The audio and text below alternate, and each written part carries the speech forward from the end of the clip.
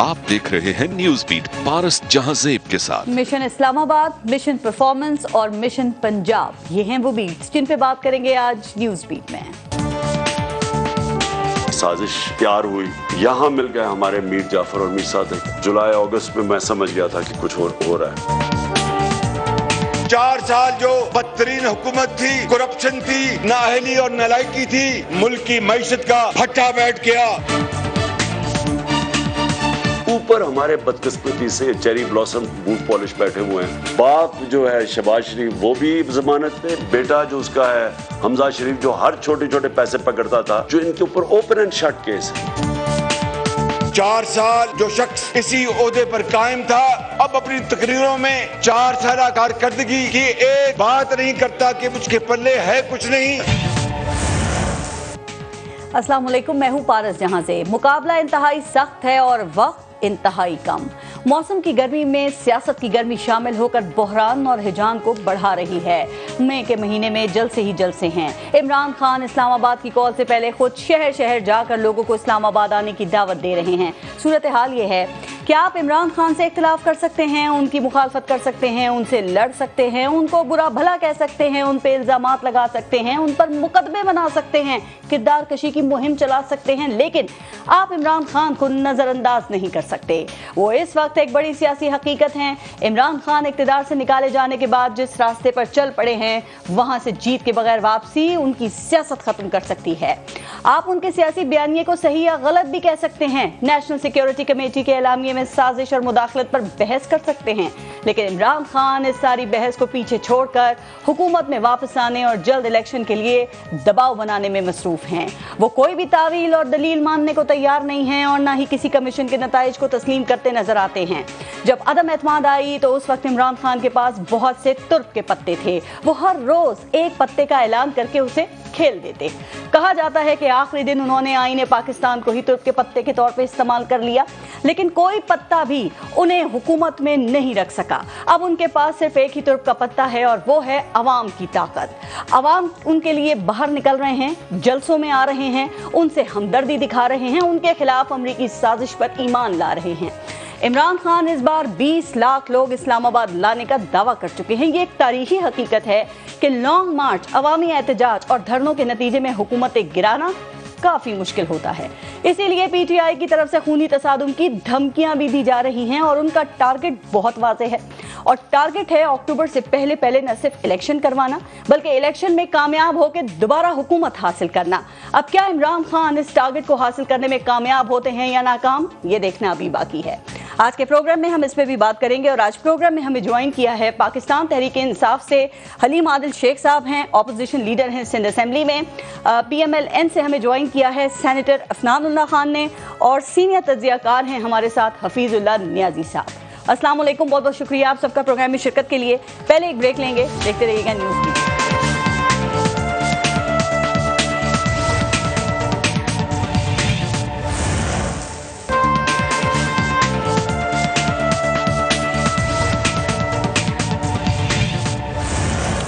हलीम आदिल शेख साहब आपसे शुरू करते हैं। Sir Imran Khan long march से पहले अगले दो हफ़्ते में तकरीबन कोई एक दर्जन अवामी इज्तम से खिताब करने जा रहे हैं और जलसों के अलावा वो वकला कन्वेंशन ओवरसीज़ पाकिस्तानी और मशाइक से खिताबात भी करेंगे। लेकिन अभी तक अलीम आदिल शेख साहब खान साहब ने लॉन्ग मार्च की तारीख का ऐलान क्यों नहीं किया है? क्या किसी तरफ़ से किसी आ, कोई अच्छी आ, किसी चीज़ का इंतज़ार किया जा रहा है उनकी तरफ़ से कि कोई चीज़ सामने आए किसी तरफ़ से और अगर नहीं सामने आती कोई रबता नहीं होता तो फिर वो मई के बाद किसी भी वक्त डेट अनाउंस कर देंगे। एक तो मैं बताना चाहता हूँ कि मई के बाद कोई डेट नहीं है। हम्म। मई के आखिरी अशरे में 20 हम्म। तारीख से 30 तारीख के दरमियान में इस मार्च ने होना है। खान साहब ने कल मियावादी में कहा कि 20 मई के बाद मैं किसी भी दिन तारीख अनाउंस करूँगा। तो मैं कह रही हूँ किसी रद्द अमल का इंतज़ार कर रही हूँ तारीख के लिए। अरे नहीं नहीं मुझसे ले लीजिए ना मैं भी एक छोटा सा खान साहब का वर्कर हूँ। 20 से 30 तारीख के दरमियान ये मार्च हमारा होगा लेकिन कप्तान जब टीम खिलाता है तो कप्तान की मर्ज़ी होती है हम्म। कि वो पहले से नहीं बताता कि ये पचास ओवर में चालीसवां ओवर ये करेगा बयालीसवां ये करेगा छत्तीसवां ये करेगा इस नंबर पे जाएगा। कप्तान की मर्ज़ी है। तो इस वक्त उसमें आगे बढ़ना है किस वक्त अपने पत्ते शो करने लेकिन 20 से 30 से 30 मई के दरमियान ये मार्च होगा। तैयारियाँ भरपूर जारी हैं और इनशाला इसने अभी मई में होना है जून नहीं आना इनशाला इंशाल्लाह। जो होना है इस मई में होना है। और मैं समझता हूँ कि हिस्ट्री का सोचा ही नहीं होगा। जैसे आज ट्विटर वाले भी परेशान हैं। तेरह करोड़ से निकल गया। हर चीज़ में अनहोनी हो रही है तो मार्च भी अनहोनी होगा। अनहोना मार्च होगा तो बिल्कुल ये 20 से 30 के दरमियान आपको कोई सुनने में शायद वो या समझने में कुछ नहीं ना मेरे लेकिन 20 से 30 समझने के दरमियान होगा कोई मार्च गलती। नहीं है। खान साहब ने मियावाली में कल क्लियर कहा कि 20 मई के बाद मैं अनाउंस करूँगा और मई के आखिरी हफ़्ते में पहले उन्होंने कहा था कि हम ये मार्च करेंगे। सर खान साहब इस वक्त जो इंटरव्यूज़ दे रहे हैं तकारीर कर रहे हैं उनमें कुछ कॉन्ट्रडिक्शन भी सामने आ रही हैं। तो क्या आप लोगों के बयानिए में कुछ कंफ्यूजन है? चूँकि एक तरफ़ खान साहब ने ये कहा कि जुलाई 2021 जुलाई को ही मुझे पता चल गया था कि ये जो अपोजिशन है वो मेरी हुकूमत गिराने के लिए साजिश कर रही है। फिर दूसरी तरफ़ उन्होंने ये कहा कि सात मार्च 2022 को मुझे पता चला पाकिस्तानी सफीर के मरासले से कि अमरीका ने साजिश की है। तो सर, सवाल ये है कि यहाँ पे भी कोई कंफ्यूजन है? खान साहब को तो मार्च में पता चला या 21 जुलाई को पता चल गया था? देखिए, मार्च में तो सात मार्च को तो बिल्ली थैले से बाहर आ गई। जुलाई से साजिश शुरू हुई थी और मार्च में मुदाखलत हो गई। ये तो बड़ा वाजे है कि पहले से पिछले साल से ये साजिशों के ताने बाने बुने जा रहे थे।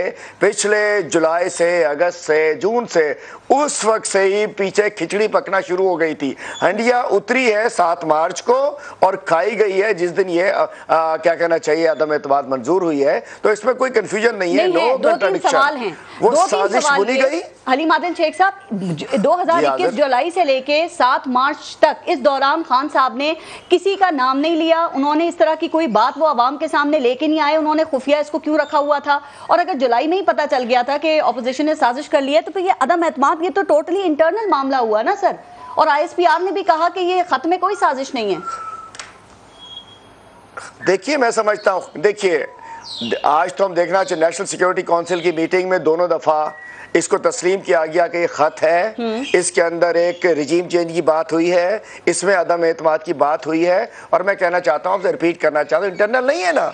इंटरनली तो इंटर जो मुकामी कैरेक्टर्स हैं वो खुल के सामने आ गए। सात मार्च के बाद जिस दिन उन्होंने अदम एतमाद की तहरीक पेश कर दी। लेकिन साजिश जो अमरीका में बुनी जा रही थी और जो मुकामी एक्टर्स जो उसके यहाँ के उनके कारिंदे थे जो एजेंट्स थे जो उनके नुमाइंदे थे जो सहूलतकार थे उस साजिश के जिन्होंने मुदाखलत करनी थी वो उनके साथ शामिल थे। और वो यही लोग थे जो पीडीएम के सबके सामने आ चुके। के पीछे अमेरिका था। तो मैं तो वाजे है इसके अंदर।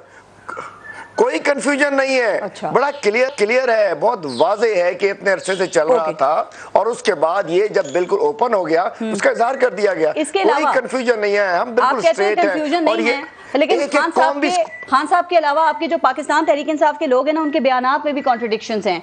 आपके फवाद चौधरी ये कह रहे हैं कि स्टैब्लिशमेंट के साथ हालात खराब हुए तो हमारी हुकूमत चली गई अगर सही होते तो रहते रहती हुकूमत। असद उमर कहते हैं कि स्टैब्लिशमेंट के साथ कभी हालात ही खराब नहीं हुए थे। तो भाई ये पाकिस्तान तहरीक इंसाफ का असल बयानिया क्या है? आप बताइए स्टैब्लिशमेंट के साथ आपके हालात खराब हुए तो हुकूमत गई या हालात बिल्कुल ठीक हैं अभी भी? पाकिस्तान तहरीक इंसाफ का बयानिया ये है कि बैरूनी साजिश अमेरिका की मदद से एक साजिश बुनी गई। उसके तहत ये एक रिजीम चेंज का प्लान किया गया। उनके इशारों पे ये पीडीएम की जो तेरह जमातें हैं इन्होंने उनको बैत किया। उसके साथ इनको सपोर्ट मिली के साथ हालात और खराब ये हुए इम्प्लीमेंट हो गया ये बयानिया है। जी- क्या कह रही स्टैब्लिशमेंट हैं? के साथ हालात खराब हुए या नहीं? देखिए वो सबका अपना अपना नेरेटिव है। कुछ किसी से इस वक्त आम बात छुपा हुआ मतलब पीटीआई में हर एक क्या रोल की अलग अलग इस पर आए है। मैं कोई गुलाम थोड़ी है पीटीआई के अंदर? कि एक आगे लिखा हुआ पर्चा आ गया कि ये बोलना शुरू कर ए बयान देना शुरू कर दो यहाँ आज़ाद ये है हर बंदे की अपना हम सब जहन रखते हैं गुलाम नहीं है आज़ाद लोग हैं अपने हमारी एक अपना जो है ऑब्जर्वेशन हो सकती है अपना तजिया हो सकता है और हम आज़ाद हैं। हम हमारे यहाँ वो गुलामी सिस्टम नहीं है सामने लाइन में बैठे हो जी जी मियाँ साहब जी मियाँ साहब हुक्म। करें जी जरदारी साहब हुक्म करें हम वो नहीं है। हम आज़ाद लोग हैं। हम आप आज़ाद हैं? लीडर ने एतमाद दिया हुआ है। आप आप आज़ाद हैं आपको आपके लीडर ने एतमाद दिया है। बताइए कि स्टैब्लिशमेंट के हालात आपके साथ खराब हुए या नहीं हुए? क्या तजिया इस पे आपका? आप तजिया देते हैं ना आप पीटीआई में बताइए। वक्त आने पे वाने पे सब कुछ बता देंगे। हर काम जिसने करना होता है वो करता बाकी है। भी बता रहे हैं, आपके लोग, आप भी बता शो की एंकर हैं आपने अपने आपने अपने शो में बत, जिस जो जिसका काम है उस वक्त पे मेरा काम है शो में सवाल करना। सब आप जवाब नहीं दे रहे सवाल का मेरे।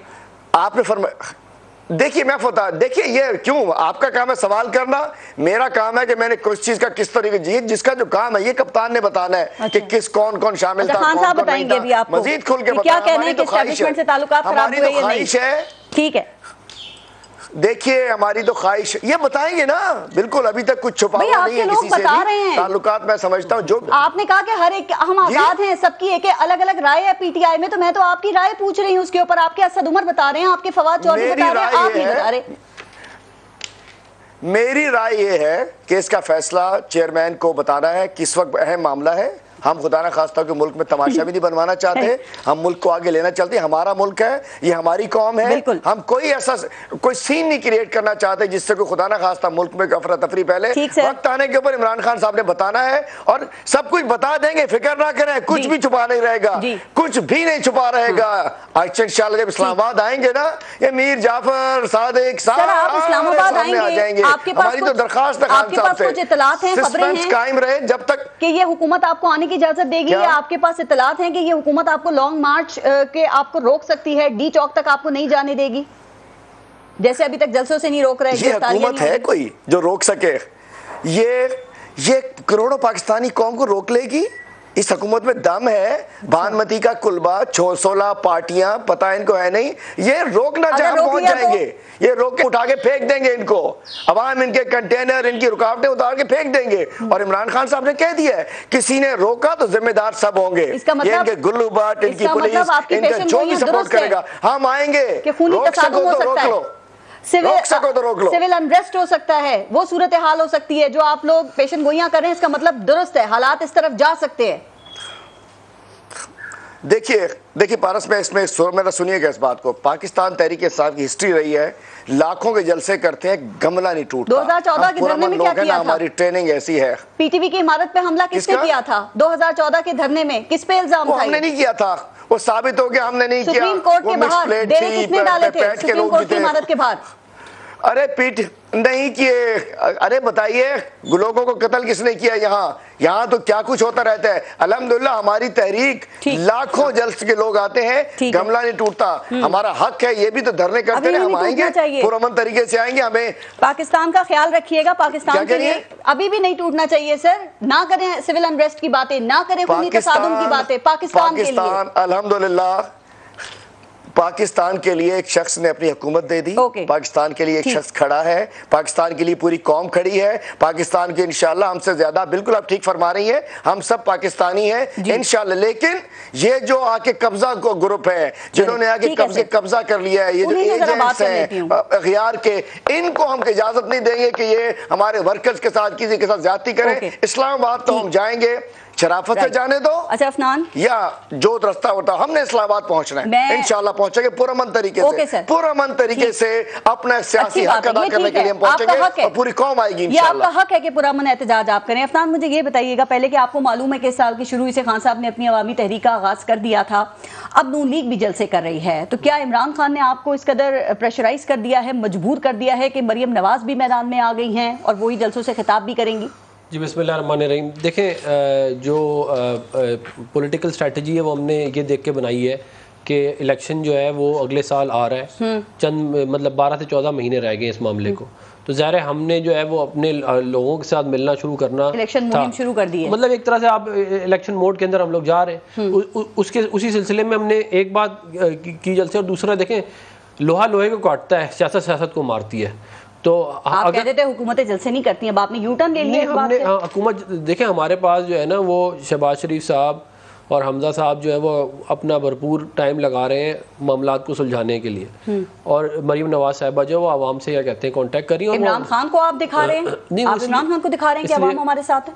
नहीं हम इमरान खान को नहीं दिखा रहे। हम हम आवाम को बता रहे हैं कि ये जो फ्रॉड कर रहे हैं इसके अंदर कोई हकीकत नहीं है। ये जो बयानियाँ बना रहे हैं जो नैरेटिव बना रहे हैं कि जी जो है वो आवाम इनके साथ है उसकी ये कह रहे हैं कि आप अपने हल्कों में नहीं जा सकते। हाँ। हम ये दिखा रहे हैं कि हलकों में ये ये सिचुएशन है कि फतेह फतेह जंग एक छोटा सा या कहते हैं वो हाँ, है उसके अंदर बड़ा जलसा करके आप अपने जवाबी जवाबी जलसों से इमरान खान की तहरीक का मुकाबला कर सकेंगे वैसे? देखें हम इमरान खान की तहरीक का हमें मुकाबला करने का देखें इमरान खान की तहरीक के अंदर कोई जान नहीं है। झूठ के पैर नहीं होते। एक कॉल देते हैं वो आप देख लें हर वो- जगह से लोग निकल के बाहर आ रहे पाँच दफ़ा मीनारे पाकिस्तान भरा है इमरान खान ने। मरियम नवाज़ एक दफ़ा मीनारे पाकिस्तान पाकिस्तान इन्होंने मीनार पाकिस्तान इन्होंने भरा ही नहीं है। ये जो जलसा हुआ था मीनार पाकिस्तान नहीं भरा था बिल्कुल नहीं भरा था आप निकाल जलसा लें। वो जलसा ठीक था लेकिन कोई मीनार पाकिस्तान जलसा करके दिखा हम इससे बड़े जलसे किए हमने। हमने इससे बड़े जलसे किए मैं आपको दिखा देता हूँ। और एक दफ़ा नहीं कई दफ़ा किए और मेरी एक बात सुने। जलसे से ज़्यादा बड़ी चीज़ जो होती है वो अवामी वोट होता है। हमने लोकल बॉडीज के इलेक्शन के अंदर कंटोनमेंट के सफाया कर दिया पीटीआई का। हम्म। हमने लोकल बॉडीज के इलेक्शन के अंदर इनका क्या कहते हैं केपीके के अंदर जो इनका गढ़ था वहाँ पे पीडीएम की जमातें जीत गई। आलमी साजिश तो- से पहले की बातें हैं ये सारी। आलमी साजिश हो चुकी। उनके नहीं नहीं से पहले की बातें आलमी साजिश तो सात मार्च को हो गई थी ना। हाँ तो ये तीस- उससे पहले हुए ना। नहीं सेकंड फ़ेज़ तो हुआ ना। तो सेकंड फ़ेज़ में कौन जीता फिर? 42 टोटल KPK में? सीटें 42 सीट्स टोटल निकाली है इन्होंने 135 में से। सिंपल मेजोरिटी भी पहला देखिए कितना बुरा रिज़ल्ट था केपीके के ये भी रिज़ल्ट बुरा है। मैं कह रहा हूँ सिंपल मेजोरिटी नहीं बनती। आधी सीटें नहीं जीत सके ये। तो बात ये है उसी की रिफ्लेक्शन आपकी जनरल इलेक्शन में भी आती है। फिर इन्होंने बात की कि जी कॉन्स्पिरसी है। कॉन्स्पिरसी की ऑक्सफोर्ड की डिक्शनरी आप निकाल के देख लें। उसके अंदर ये बात लिखी हुई है कि कॉन्स्पिरसी की डेफिनेशन ये है कि वो खुफिया होती है और वो इलीगल होती है। जब कोई दुश्मन आपके खिलाफ कॉन्स्पिरसी करता है तो वो आपको बुला के आपके एम्बेसडर को नहीं कहता कि हम कॉन्स्पिरसी करने जा रहे हैं। और ये जो बात कहते हैं कि जनवरी में कॉन्स्पिरसी हुई फिर कहते हैं नवंबर में हुई फिर कहते हैं जुलाई में हुई। तो आप मुझे एक बात बताएँ अगर हमने कॉन्स्पिरसी जुलाई में की तो हमने इसका मतलब हम इतने ताकतवर हैं कि हमने रशिया और यूक्रेन की जंग भी करा दी। हो सकता है आप क्योंकि हमने- हमने- हमने ना की ना। और उसके बाद अमेरिका बीच में आया वो साजिश करने के लिए और आपको पता है ना अमेरिका रिजीम चेंज में हमने आलमी साजिश नहीं मैं ये कह रहा हूँ हमने आल- आलमी साजिश करती ना। हम हम इतने ताकतवर हैं पाकिस्तान के अंदर हमारी लीडरशिप पीएमएलएन की खास तौर से कि हमने रशिया और यूक्रेन की क्या कहते हैं जंग करवा दी। मतलब इसका कोई सर पैर होना चाहिए ना बात का मैं ये कह रहा हूँ। फिर आज एक बड़ी आम बात इमरान खान साहब ने की। उन्होंने कहा पाकिस्तान की सारी अशरफिया जो है वो गुलाम है और वो गद्दार है। और फिर उन्होंने साथ ये कहा कि अमरीका का वहाँ से हुक्म आता है और यहाँ पे सलूट मारते हैं। ये इनके अल्फाज थे। क्या मारते हैं? सलूट मारते हैं। तो ये सिविलियंस को कह रहे हैं वो। सिविलियंस को नहीं कह रहे वो तमाम अशरफिया। पाकिस्तान की तमाम अशरफिया गद्दा आप जरा इस, इस, इस, उसमें खाली पॉलिटिशियन नहीं आते उसमें आपका सिविल ब्यूरोक्रेट भी आता है उसमें आपकी जुडिशरी भी आती है आपकी फौज भी आती है। हमें तो वो कहते ही थे पहले से उन्होंने तो बाकी सबको भी इसमें लगा दिया है कि आप लोग सब गुलाम है उनके। तो ये ये और फिर मैं ये- दूसरी मैं के आखिरी महीने में लॉन्ग मार्च ला रहे हैं क्या करेंगे? 2014 की तरह डी चौक नहीं जाने। देंगे या पाँच रोकेंगे साल रोडों पे खज्जल हुए थे 2013 से 2018 ये अभी भी खज्जल होंगे। उन्होंने ज़िंदगी में खज्जल होने के अलावा कुछ तो धमकियाँ सुन ली हैं उनकी नहीं वो आज राणा साहब ने आज वादे कर है क्या? अगर खून रेजी खून खून रेजी खून रेजी कर रहा था ना शेख रशीद और जेल भरो क्या कहते हैं वो चलानी थी तहरीक सबसे पहले जाके बेल भी ले ली। भाई अगर खून ही देना है तो मैं कहता हूँ शेख रशीद का दे। अल- वो क्या कहते हैं मुल्क के लिए भी अच्छा है। है। तो मुल्क के लिए भी अच्छा है ना? हाँ, मैं ये कह रहा हूँ कि भाई शेख रशीद शुरू करे ना। अपने घर में अप, अप, अप, अपना खून भी नहीं देना अपनी गिरफ्तारी भी नहीं देनी। आप कह रहे हैं शेख रशीद अपने खून से शुरू करें। करें ना खुद को पहले आग लगाएँ। हाँ, अपने अपने में तेल छिड़क के आग लगा है। नहीं मैं ये कह रहा हूँ कि उन्होंने उन्होंने बोला है ना कि लोग आग लगा लेंगे लोग खून बहेगा।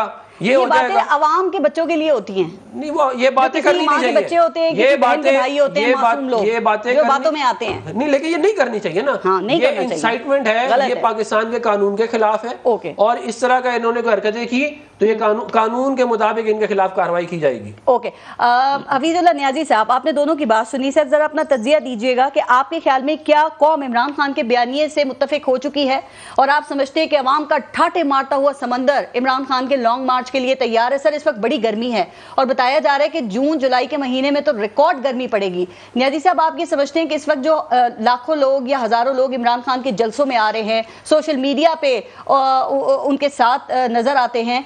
तो छाए हुए हैं। तो आपको लगता है कि ये इस सियासी तहरीक की मुश्किल को और मौसम की गर्मी को भी बर्दाश्त कर सकेंगे? एक तो आपने ये फंसा दिया है। एक तरफ़ मेरा बहुत ही प्यारा भतीजा अफवान, दूसरी तरफ़, बतले हुरियत हलीम आदल शेख साहब कहाँ फंसा दिया। चलो, वो एक जफ़र साहब का शेर है, जफ़र इकबाल साहब का। झूठ बोला है तो कायम रहो इस पर जफ़र। आदमी को साहिब किरदार होना चाहिए। जी।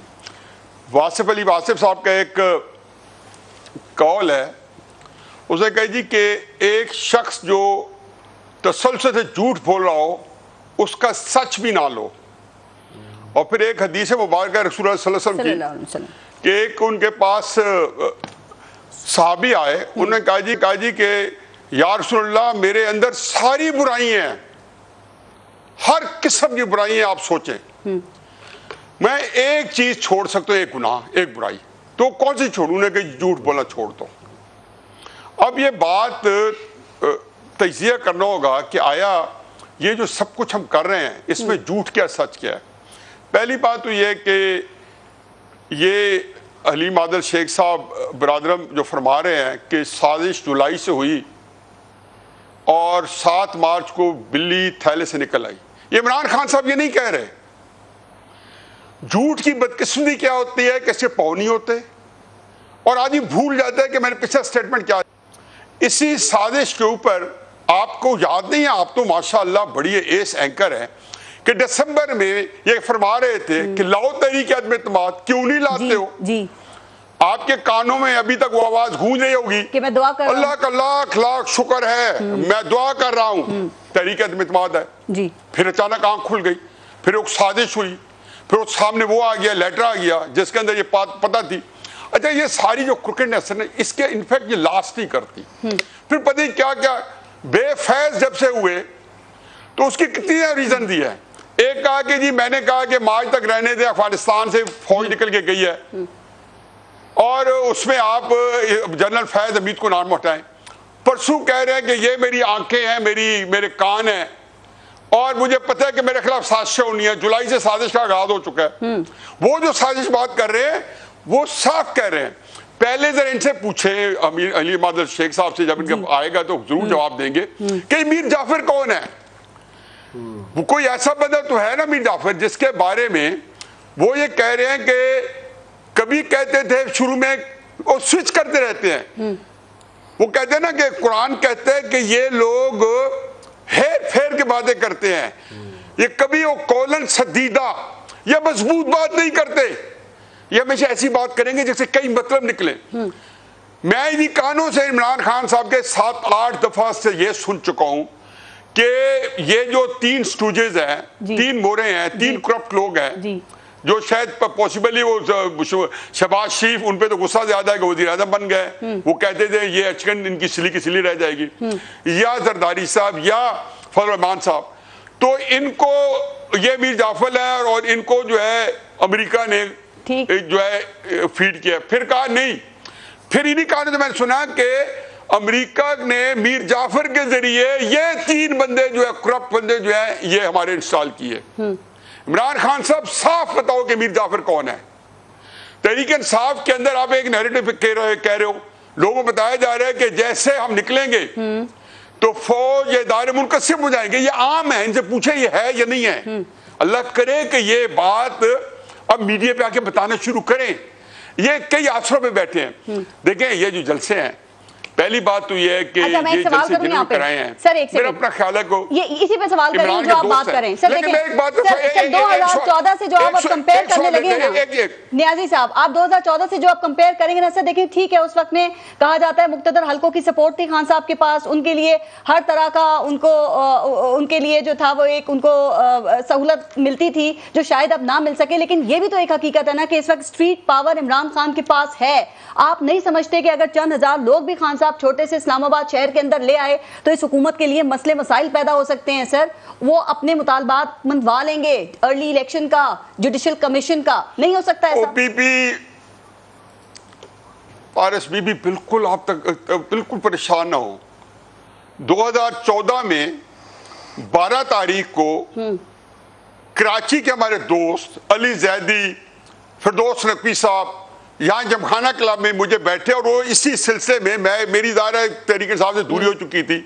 और इसी मामले में मेरे साथ मामला फैमिली के लिए बैठे थे। मैंने ने कहा जी कि मैंने तीन अगस्त को कॉलम लिखा है। जी। और मैंने ये कहा है कि आप बंद गली में जा रहे हैं। मैं अब भी ये कहा है कि आप बंद गली में जा रहे हैं। व्लॉग में भी कहा है अपने टीवी प्रोग्राम में कहा है कि आप बंद गली में जा रहे हैं। इन्होंने कहा जी हमारे पास दो लाख मोटरसाइकिल वाले रजिस्ट्रेशन किताबें भी छोड़ गए हैं और अपने शनाख्ती कार्ड भी छोड़ गए हैं। जी ठीक। और जब ये लाहौर से निकल रहे थे तो ठाठे माता समुंदर था। इस्लामाबाद पहुँचे थे डेढ़ हज़ार दो हज़ार बंदे पूरे नहीं थे। उनतीस या तीस अगस्त से नीचे की रात को मैक्सिमम लोग इकट्ठे किए थे। अगस्त 2014 में और वो मैं उस धरने में उस रात वहाँ मौजूद था सियालकोट के लड़के भी मेरे साथ मौजूद थे तरीके इंसाफ के और फैसलाबाद के भी थे। मैं उनको गिन के बताया था कि सात हज़ार का साढ़े सात हज़ार का तो इमरान खान के पास लोग आते सपोर्टर्स और तेज़ी से चले जाते तहरीक इस तरह खत्म हो सकती है फीजुल्ला नियाजी साहब? अच्छा नहीं मैं मैं ये कहता हूँ देखो देखो देखो मैं एक बात हूँ इमरान खान जो है उसको कोई क्रेडिट दे कि उससे दो तीन चीज़ें उसने पहला राउंड जो है वो कामयाबी से हमकनार किया है जिसमें उसने अपना नैरेटिव चेंज कर लिया कहा इमरान खान साहब के नायली पे करप्शन पे गोगी पे सवाल होने थे। कहाँ पे उनके स्कैंडल्स बने थे उन्होंने उठा के गद्दारी पे डाल दिया कमाल मुहारत से। उसमें अपोजिशन की कितनी कमज़ोरी है कितनी कामयाबी है। के बाद लेकिन जो दूसरा राउंड था ना अब तसाद तसादम के ऊपर दूसरे राउंड में जाना मुमकिन नहीं है। और फिर आपको बताऊँ ये जितने शोशा है कराची लाहौर लाहौर का जलसन का बेंचमार्क आज भी 30 अक्टूबर है। मैंने तरीके साहब के कौ, कौमी रहनुमाओं से पूछा है कि मुझे ये बताओ क्यों मैं भी जलसा देख के तीस अक्टूबर का ये अपना तीस अक्टूबर में तो मैं मुंतजिम था उस जलसे का। मैं मुंतजिम था तीस अक्टूबर 2011 का। पच्चीस दिसंबर कराची का जलसा मैं वहाँ मौजूद था वहाँ पे। सर जलसों में लोग अच्छे हैं तो मैंने पूछा मैंने कहा ये जलसा जो लाहौर नहीं भाई आपको पारस नहीं पता ये जलसे क्या? मरियम नवाज़ ने फतेह जंग में जलसा किया है। मियाँ। वाली के आठ छोटे जो टाउन है मेरी बात सुबह देख मरियम नवाज़ ने कल फतेह जंग में जलसा किया है। वो क्या क्या बंदे नहीं थे? कि बंदे वही है तरीके तो साहब क्या ने ये मियाँ वाली के ने जलसे में बंदे नहीं होते? हैं। और मरियम नवाज़ ये मरियम नवाज़ वाली बात कर रहे हैं वो कहते हैं दो सौ नहीं, लोग होते हैं तो हूँ इमरान खान दो लाख गिनते हैं। पूरी दुनिया ही देख रही है। मैं मैं बिल्कुल ही कह रहा दोस्तों मैं कह रहा हूँ कि मैं कह रहा हूँ कि आप उसको कंपेयर करें उसका मतलब यह है कि इसका मतलब है कि मरीब के पास भी बंदे होते हैं नवाज़ शरीफ के पास भी बंदे हैं इमरान खान के पास ईमानदारी से? बताएँ, इमरान खान के अलावा। अट्ठाईस अट- अट- अट्ठा- मुझे मुझे ये बता दें ये अली बादल शेख साहब बैठे हैं ये शायद नहीं आए। इन्हें क्या अट्ठाईस मार्च को दस लाख बंदे इस्लामाबाद बुलाया था कितना आया था? ठीक अली मादल शेख साहब जवाब दें इस बात का। अभी तीन हफ़्ते नहीं हुए। ठीक इसका भी जवाब दें और बताएँ कि कि वो दस लाख बंदा आया या नहीं आया? और फिर बताएँगे कि इस्लामाबाद दो हज़ार चौदह में ये तो अपने आप को बेवकूफों की लें पहले तो मैं ये बताता हूँ। एक तो मैं कहना चाहता हूँ कि न्याय साहब माशाल्लाह है तो एनालिस्ट लेकिन है तो एनालिस्ट के खाते के अंदर बैठे हुए लेकिन माशाल्लाह ज़बरदस्त पोजीशन कर रहे हैं ज़बरदस्त। लेकिन हमारे मोहतरम है बड़े भाई हैं। मैं कहना चाहूँगा झूठ की अगर बात हो थैंक यू तो झूठ में जो कैलेबरी फ़ोन भूल चुके हैं हम लोग झूठ किसने बोला? स्ट्रेट सफ़ेद झूठ जिसे कहते हैं। उसके अलावा जी कतरी खत भूल गए। मेरी तो लंदन गया पाकिस्तान में मेरी कोई जायदाद नहीं है वो हम भूल गए। आज मियाँ शबाज शरीफ साहब वो फरमाते हैं अल्लामा इकबाल ने अठारह में ये फरमाया था अल्लामा इकबाल 1877 में पैदा हुए हैं। तो मैं कहना चाहता हूँ झूठ इनकी घुट्टी में मिल चुका है। और दूसरी बात मैं न्याय साहब से इतराम से कहना चाहता हूँ सबसे कहता हूँ हम अगर किसी का नाम कुछ भी हमसे अंदाजे लगा रहे हैं कि जी हमने ये कह दिया तो इसका ये मतलब है हमने मीर जाफ़र सादिक कह दिया तो ये मतलब है। स्टेट में पूछना चाह रहा हूँ नवाज़ शरीफ ने क्या जनरल बाजवा का नाम नहीं लिया कितनी दफ़ा? लंदन बैठकर अयाज सादिक ने नहीं कहा कि टांगे काँप रही थी हमारी फौज की। क्या मरियम नवाज़ ने कितनी दफ़ा जनरल फैज का नाम नहीं लिया? और उसके बाद डॉन लीग्स के अंदर क्या होता है? और मैं कहना चाहता हूँ स्टेट जब ये इदारों के नाम लेते हैं जब ये जर्नैलों के नाम लेते हैं जब ये फौज के नाम लेते हैं और क्या मरियम नवाज़ साहिबा की मौजूदगी में वो नारे नहीं लग रहे? कि जी ये वर्दी वर्दी के हवाले से इन लोगों को आज या न्याय साहब बैठ के भी फैज फैज कर रहे हैं। क्या जनरल फैज कोर कमांडर इस फौज के नहीं है? क्या जनरल फैज ने वर्दी नहीं पहनी हुई? वही वर्दी सबकी हमारे लिए पूरी फौज मोहतरम है। ये फौज हुए जिन्होंने हमारे लिए कुर्बानियाँ दी अस्सी हज़ार जो कुर्बानी है उसमें बहुत सारी हमारी फौजियों की भी है। जब दिल करते हैं आप एक इदारे को गंद में लाके फंसाना चाहते हो? जब दिल करते हो उसके अच्छा, अली मादल नवाज़ शेख शरीफ साहब, ने मैं सबसे ब्रेक ले पहले लूँ जरा। जनरल बाजवा का नाम लेना शुरू किया। इन्होंने अपने। जलसों में नाम लेना शुरू किया।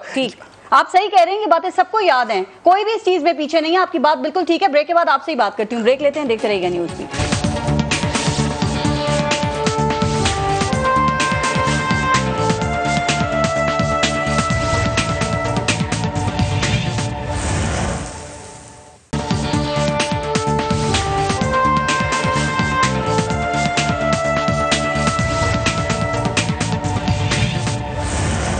अच्छा अलीम आदिल शेख साहब इसके साथ थोड़ा जरा आगे भी बढ़े तो हुकूमत के चैलेंजेस पे अगर मैं आपसे सवाल करूँ तो सर हुकूमत का दावा ये कि उन्होंने लोड शेडिंग खत्म कर दी है उन्होंने आईएमएफ का प्रोग्राम बहाल कर दिया है मजीद दो अरब डॉलर भी उनको आईएमएफ से मिल गए हैं। आपके ख्याल में ये एक महीने में जो इनकी कारकर्दगी है आप लोग समझते हैं कि इससे मुल्क की समत जो है वो दुरुस्त हो गई है? देखिए जी मैं समझता हूँ कि सबसे पहले सऊदी अरब गए नमाज़ नमाज़ बख्शवाने गए थे रोज़े गले पड़ गए।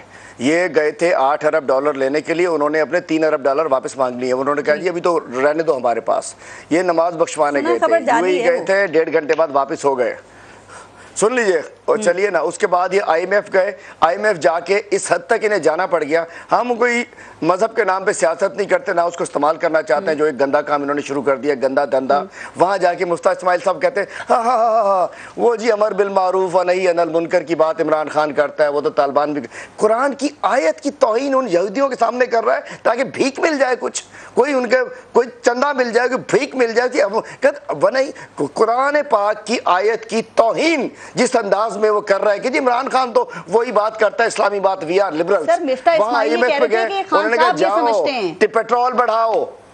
आईएमएफ ने क्या कहा सुनिए? आईएमएफ ने कहा पेट्रोल बढ़ाओ डीजल बढ़ाओ टैक्सेस लगाओ एमनिस्ट्री खत्म करो फिर हमसे आगे बात करो। और पता नहीं क्या मैं कहना चाहता हूँ कि इनको और आते ही लोड शेडिंग बढ़ गई है। रमज़ान शरीफ जित तबाही के अंदर लोगों ने गुजारा है। यहाँ कराची को एक्स्ट्रा बिजली दी हुई थी वो खत्म कर दी गई।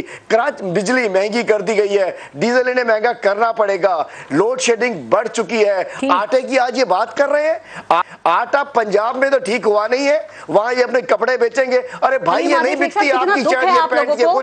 कोई एक माह में हुकूमत ने आके ये आपने सारा जिम्मेदार इनको ठहरा दिया सर। इनके दौर की वही पॉलिसीज़ हैं जो आपके दौर में थी। सर मेरी बात सुने स्टेट बैंक का कानून वही है। आईएमएफ से जो आप मुआदा करके आए थे वही पॉलिसी इनकी है। फिर आपका Ehsaas programme Roshan digital account Sehat card लंगर खाने पनाह गाहें ये, ये सब कुछ वही चीज़ें काम कर रही हैं सर। आपको कैसे लग रहा है कि इन्होंने एक माह में मुल्क को तबाही के दहाने पे खड़ा कर दिया है? मैं बताता हूँ जिस अंदाज से आते ही दूसरे दिन मेट्रो बस का इफ्तः किया और कहा कि हमने मेट्रो बस चला दी। जिस अंदाज से प्लान करके दो आते ही दूसरे रोज डॉलर नीचे फेंका स्टॉक ऊपर लेकर गए। सॉरी डॉलर ऊपर लेके स्टॉक ने उसके बाद आके देखा कि तबाही हो गई। आज कहाँ पहुँच गया डॉलर वहीं? जो उस वक्त तो चले जी। वो कह रहे हैं एक मार का मारा है अब मजीद मार के उस वक्त हम कह सकते हैं। जरदारी साहब ने कहा वो कहते हैं मुल्क का मौसम माहौल और मीशत को बेहतर करेंगे। मैंने कहा था इमरान खान नहीं बचेगा। ये जदारी साहब ने कहा और कहा, देखा ना, मैंने घर भेज दिया उनको। जरदारी साहब से मैं कहता हूँ कि ज़रा जाए तो सही, चौदह साल में मेरे सब्जेक्ट को आपने छेड़ दिया। आजकल हम कहते हैं कि पहले दूसरों से निमट लें। जरदारी साहब किस मुँह से नवाबशाह जा रहे हैं? आज से तीन महीने पहले दो महीने पहले नवाब शाह की रोड पे पाँच सात लाशें पड़ी रही जमीनों पे कब्जे हो गए। सिंध में चौदह सौ अरब की करप्शन हुई है। सिंध के अंदर डिक्टेटरशिप है। सिंध में कोई पब्लिक अकाउंट्स कमेटी नहीं है कोई स्टैंडिंग कमेटी नहीं है। सिंध में चौदह सौ अरब की करप्शन हुई है। Eight point nine trillion rupees Sindh के अंदर आए। जरदारी साहब को तो बाद में देखेंगे। मैं कहना चाहता हूँ कि जिस अंदाज से जिस अंदाज से कह रहे आते ही गवर्नमेंट ने बर्बादी कर दी है। महँगाई ज़्यादा आटे क्या आटा कह रहे थे कपड़े बेच के? केपी में आटा में आटा सस्ता करूँगा। तो मैं पंजाब में आटा सस्ता करे यूटिलिटी स्टोर बंद हो गई है महँगाई हो गई है चीखें निकल गई है। साल में आप भी ये काम कर इसमें सूद गया लेते ये चीनी और जो आटा है ना ये आपको पता है रॉकेट लगा रहा है इसको आपके दौर के अंदर। जवाब दे दें। मैं ये कहना चाहता हूँ कि देखें हमने पचास रुपए किलो चीनी इनको दी मैं थी। जवाब पूरा- मैं पूरा हमें पचास रुपए किलो मिली थी हमने इनको पचास रुपए एक एक मिनट रुक जाए पचास रुपए किलो ही हमने इनको दी। और ये इसको एक सौ चालीस रुपए एक सौ पचास रुपए किलो रहे ले गए। में उसके बाद उसके बाद आटा जो है बात नहीं करते। अली मादे शेख सुन लो अपनी जरा। बात सवाल कर- कर ले बेशक। टाइम थोड़ा सा कम है मैं आखिरी कमेंट आपसे ले लूँगी जी। आटे के ऊपर हमने हमने पैंतीस रुपए किलो आटा इनको दिया इन्होंने अस्सी रुपए किलो पे ले गए। हमने यूटिलिटी स्टोर्स के ऊपर साढ़े पाँच सौ रुपए किलो की प्राइस हमने चार सौ रुपए किलो की। ये ये दो हज़ार तेरह से दो हज़ार अठारह का कंपैरिजन निकाले ना अपने अदवार का हमारे हमारे दौर का अपने दौर के साथ। तो फिर इन्हें पता चलेगा कि बिजली कितने रुपए यूनिट थी गैस कितने की थी उसको नहीं निकाल रहे। हमारे तीन हफ़्ते के अंदर कह रहे हैं कि सब कुछ ठीक कर महीने क्या रिलीफ दिया है ये बताइए लोड शेडिंग आपने कम की फ्यूल एडजस्टमेंट की मद में आपने बिजली की कीमत बढ़ा दी आईएमएफ की जो बातें इन्होंने मानी थी अब वो है। बीच में नहीं आना चाहिए। साढ़े सर, बीच में नहीं आना चाहिए नहीं, नहीं, किसी को। हलीम आदले शेख साहब सवाल उनसे किया प्रोग्राम का टाइम कम है मैं चाह रही हूँ सब कमेंट दे दें अपना। साढ़े पाँच हज़ार मेगावाट के पावर प्लांट हमने दोबारा से क्या कहते हैं हम्म। उसके अंदर लेके आए ग्रिड में और उससे क्या कहते हैं लोड शेडिंग जो है वो बिल्कुल ना होने के बराबर हो गई है। फिर हमने जो है वो कीमत बढ़ाई बिजली की आपने बिल्कुल बढ़ाई है। मैं कब तक आप डीजल और पेट्रोल की कीमत को कब तक मुस्तहकम रखेंगे आज नहीं कल बढ़ाना पड़ेगा आपको। हमने अभी उसको मुस्तहकम रखा हुआ है लेकिन देखिए हमने जब हम 2013 में हुकूमत आई थी तो हमने तीन हफ़्ते में नहीं सब कुछ किया था ना।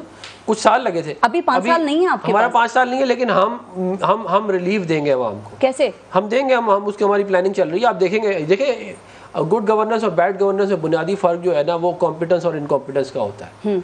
जब आपके पास इनकॉम्पिटेंट लोग होंगे और तजर्बे करेंगे बैठ के आज यूँ करके देखते हैं आज यूँ करके देखते हैं तो फिर मुल्क का यही आशरों का जो भी हुआ है। शौकत और फिर- हफीज इनकॉम्पिटेंट थे। ये इनकॉम्पिटेंट थे और करप्शन सबसे ज़्यादा इंपॉर्टेंट ये कि करप्शन जो इंडेक्स 117 पे हम छोड़ के गए थे वो 140 पे चला गया इनके दौर में। फिर इन्होंने बात की कि जी हम तनकीद करते रहे फौज के ऊपर। हमने दलाइल के साथ तमीज़ के दायरे में रह के हकायक बयान किए। हमने कभी तमीज़ के दायरे से दायरा था? फौजी बात- सरबराहान के नाम लेने के गुजारिश मेरी गुजारिश मेरी गुजारिश सुन लेना। ये जो मीर जाफ़र बार बार कर रहे हैं ना मीर जाफ़र मीर जाफ़र कर रहे हैं। आरिफ मकसूद एक बंदा एफ़ आई ए ने पकड़ा है। जी। उस और उसको क्या कहते हैं इन्वेस्टिगेशन हुई तो उसने कहा कि फवाद चौधरी ने इंस्ट्रक्शन दी थी कि सोशल मीडिया के ऊपर कैंपेन चलाई जाए जनरल बाजवा के खिलाफ। ये एफआईए के बंदे ने ये ये रिपोर्ट की है। और ये और उसमें उनका ऑब्जेक्टिव क्या दिया है? कि रिफ्ट क्रिएट की जाए एजेंसी के फौज के अंदर। ये ये ये ऑब्जेक्टिव था। हमने बताया कभी उस, कब उस बंदे का ताल्लुक पीटीआई के साथ साबित हो गया? सोशल मीडिया सोशल मीडिया का साबित हो गया? साहब उनका सोशल मीडिया का बंदा है सारी ट्वीट है सारा कुछ ऑफिशियल कारकुन तो नहीं था ना? सोशल मीडिया पे तो बड़े कारकुन होंगे इनके। जो भी है आप फवाद चौधरी डायरेक्ट इंस्ट्रक्शन दे रहा है। ऊपर से कह रहे हैं हम कुछ नहीं कहेंगे और नीचे इंस्ट्रक्शन दे रहे हैं कि इनके खिलाफ करो। और ये जो मीर जाफ़र की बात की है ये सारा पाकिस्तान आप जाके ट्विटर पे देख लें। आपको पता चल जाएगा मीर जाफ़र कौन है। जिन जिनके खिलाफ ट्रेंड बन रहे हैं ना उन्हीं को मीर जाफ़र बनाया हुआ है। उनके जाके देख लें। फिर इन्होंने बात की कि- जी लंदन में तो अपना क्या पाकिस्तान में भाई 2011 की बात आप 2022 में कर रहे हैं। आए- आप 2011 में कितनी जायदादें थी आपके पास? उन्नीस सौ है। 1990 में कितनी थी जो आज आज बताए कितनी है। अपनी भी तो बढ़ गई है दूसरों को पूछ रहे हैं। ओके। हफीजुल्लाह नियाजी साहब सर आप पाकिस्तान तहरीक इंसाफ के खिलाफ जो अदम एतमाद आई, आप उसके खिलाफ थे। आप कह रहे थे कि इनकी जो बैड गवर्नेंस है, ना अहली है, महँगाई है, इसका बोझ खाम खान नून के कंधों पे पड़ेगा। क्या ऐसे ही होने जा रहा है? और आप समझते हैं कि इस वक्त में शबाज शरीफ वज़ीर आज़म बने हैं तो उन्होंने इमरान खान को एक नई सियासी ज़िंदगी दे दी है। और क्या ये नून लीग के लिए सियासी मौत भी साबित हो सकती है ये सूरत हाल अगर ये नाकाम हुए तो? वायरस क्या ये सच साबित नहीं हुआ? मैंने तो बहुत शोर बचाया और सारे जो अपोजिशन के लीडर्स थे मैं मैं मेरी वजह कुछ और भी थी। मेरी वजह ये थी कि ये जो जंग जदल है ये होनी थी। इमरान खान साहब का तिया पांचा अगलों ने करना था लेकिन जिन्होंने करना था वो अपोजिशन अपने गले ले लिया। और आपने देखा है कि इमरान खान साहब ने कमाल महारत से। जो एक चीज़ कमाई है इससे तो कोई बंदा निगेट नहीं करता। मैं तो कई दफ़ा कह चुका हूँ कि इमरान खान साहब ने पहला राउंड कामयाबी से जीत गया है अपना एक टॉपिक चेंज कर दिया है। दूसरा उन्होंने ये किया कि उस टॉपिक के ऊपर लोगों को इकट्ठा किया और जोशो खरोश वल्ला पैदा किया। लेकिन मैं सिर्फ़ ये बात पूछता हूँ कि देखें ना नवाज़ शरीफ साहब ने बड़े जलसे में हा- किया आ, उनका नाम लिया जनरल बाजवा साहब का भी और जनरल फैज अमीर साहब का भी। और उसके बाद सारी बातें बताई। उन्हें ये नहीं कहा कि बाजा साहब आप ये फला खराब हो। उन्हें कहा जी ये चीज़ें हुई हैं। ये आपने किया है। और तो हिसाब देना पड़ेगा। थी कि हमने नहीं किया। नहीं अब हिसाब। देना पड़ेगा। बिल्कुल सही तो से हिसाब मांग रहे ये काम यही क्यों नहीं लेना चाहिए? क्यों नहीं लेना चाहिए? मेरी कंप्लेंट्स हैं। मेरी। ग्रीवेंस है। मेरे तो कंप्लेंट सत्तर साल की हैं। मेरे मैं तो कहता हूँ कि देखो कह देना मैं गलत कह रहा हूँ। इमरान खान साहब जो हैं ये तो बहुत जरूरतमंद वाले आदमी हैं। ये जो जानवर कह के और इनडायरेक्टली लेते हैं कि जी आप न्यूट्रल हो गए हैं क्योंकि नवाज़ शरीफ का बयान ये था कि आप आइन के मुताबिक चले और आप वोट को इज़्ज़त दें और आप सियासत में दखल ना दें। इमरान खान फरमाते हैं कि जो न्यूट्रल है ये वो बंदा आइन पाकिस्तान की एहसास को नहीं समझता। मेरे नज़दीक कुरान और सुनत के बाद इस मुल्क में जो सबसे मुकद्दस डॉक्यूमेंट है वो आइन पाकिस्तान है 1973 मैं देख चुका हूँ कि 56 से आइन तोड़ने से पाकिस्तान टूट गया था। ये पाकिस्तान के अंदर ऐसी सियासतदानों की कबील आई है जिनको आइन की एबीसी तो क्या उसे दिलचस्पी नहीं है? इसलिए तो एक डिप्टी स्पीकर नियाजी साहब। आके और फरमाते हैं जी के आइन के पर खिचुड़ा के रख देते हैं। साहब आपने कहा आप कि मियाँ साहब को कंप्लेंट्स थी वो हिसाब मांग सकते हैं ये कंप्लेंट्स इमरान खान को भी तो हो सकती हैं जुडिशरी से गालियाँ तो एस्टेब्लिशमेंट तो से। करें ना गालियाँ कब बताएँ हैं इमरान खान। ने? नंगी गालियाँ दी ट्विटर पे। क्या वर्दी उतार देंगे? ओहो बताएँ ना हम मारेंगे तो- आप जाके ट्विटर मैं देखें। तो कहा है मैंने मैं तो मैं मैं अपने प्रोग्राम में कह चुका हूँ पारिस आज फिर आपके प्रोग्राम में कह रहा हूँ। इमरान खान साहब के खिलाफ एस्टेब्लिशमेंट ने मावराए आइन को काम किया है। ठीक, सर। इमरान खान साहब धड़ल्ले के साथ बताए मैं कह दूँ मैं उनके साथ खड़ा हूँगा। ठीक सर। अली मादे शेख साहब लास्ट कमेंट कंधे से कन्ना मिलाए खड़ा हूँगा।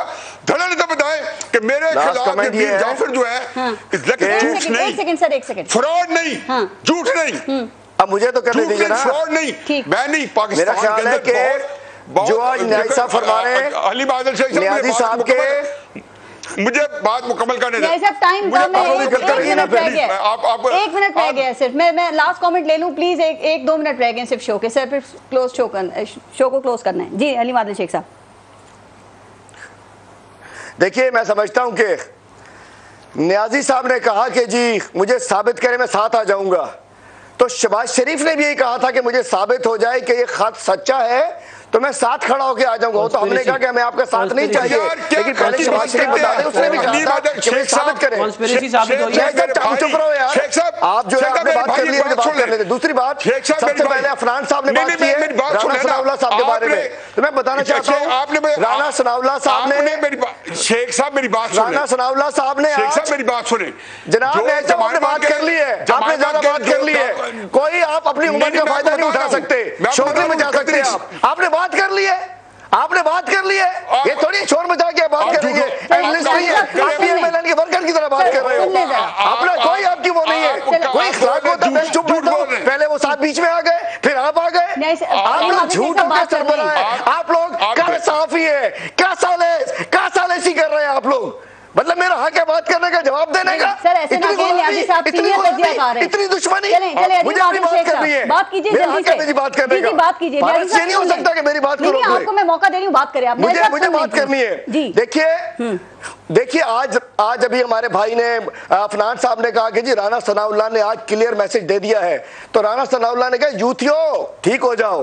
हमें पता है राणा साहब आपको कातिल खान साहब ने नहीं कहा। आपको कातिल का, चौधरी शेर अली ने कहा था आबिद शेर अली वालिद ने कहा था और 10 करोड़ यूथिये हैं 10 करोड़। चलें, याद रखे कोई छोटे कम नहीं है। गधों की तादाद बता रहे मुल्क में। कासम कासम सूरी का कासम सूरी का बदला ले लिया। चलें सर टाइम करोड़ खत्म हो गधे गया। सूरी का बदला ले लिया आपने। ठीक अली मादल शेख साहब हफीजुल्लाह न्याजी साहब और अफनान उल्लाह खान साहब बहुत बहुत शुक्रिया। आप सबका प्रोग्राम में शिरकत के लिए अपना और अपने मुल्क का ख्याल रखिए। पारस जहाँ से इजाज़त दीजिए। अल्लाह ने के